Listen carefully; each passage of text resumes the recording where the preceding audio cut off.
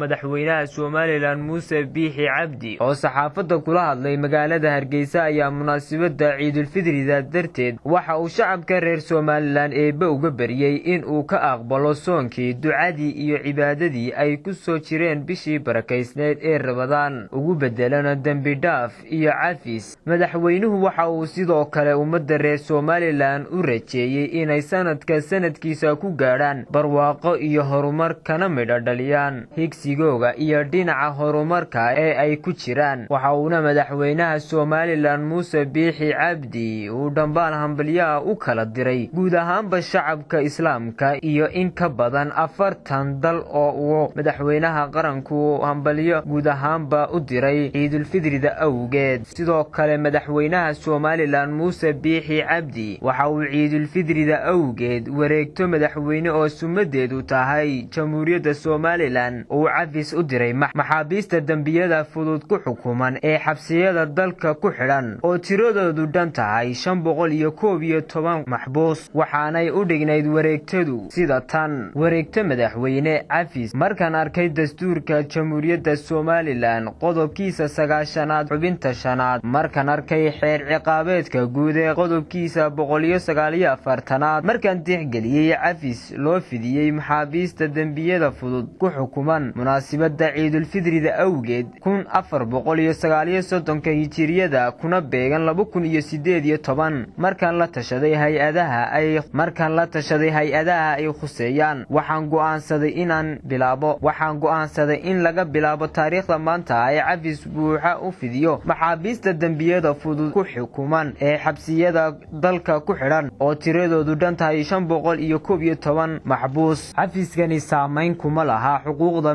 madaniga iyo raadka ciqaabeedka ee ka dhashay dembiyada ay ku xukuman yihiin sida ku xusan qodobka labiyo sagaashanaad ee xeerka ciqaabta guud. Waxaa cafiskan fulinaya xafiiska xeer ilaalinta guud ee qaranka iyadaoo loo raacayo liiska maxaabiista wareegtada ku lifaaqan. Bedri axmed maxamed bedri saqare telefishinka caalamiga ee badda hargeysa